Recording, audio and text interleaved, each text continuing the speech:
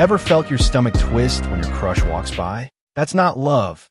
That's your nervous system panicking. When you see someone you're attracted to, your brain releases adrenaline, the same hormone that fires in danger. Your amygdala triggers your body's fight or flight mode, even though you're not in danger.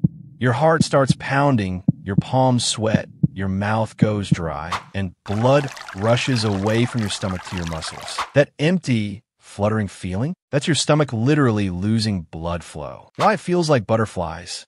So that flutter isn't romance. It's adrenaline messing with your gut nerves. Your vagus nerve, which connects brain and stomach, reacts to stress or attraction. Your crush literally makes your gut nervous. So next time you get butterflies, remember, it's not magic. It's your brain saying, this person could change everything. Follow DoctorWhy